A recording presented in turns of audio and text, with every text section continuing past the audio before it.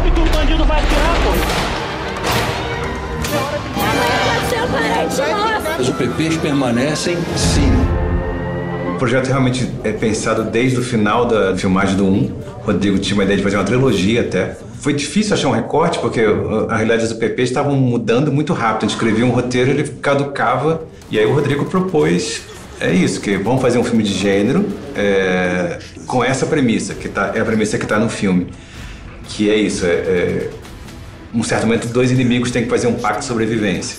E eu só falei assim, a personagem da Mariana é importante, vamos trazer ele de volta, porque acho que tem que ampliar também esse ponto de vista dessa personagem é, nesse novo. Tinha, mas não era bem contemplado no Pardal tá na área!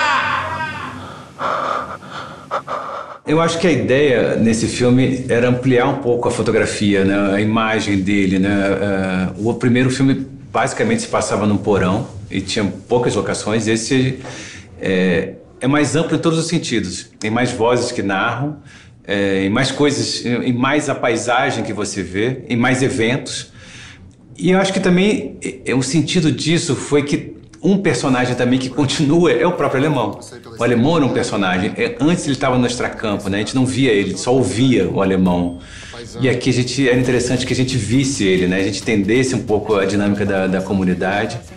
E isso se refletiu um pouco das escolhas de imagem, né? De como a gente está é, é, tá contando um pouco essa história.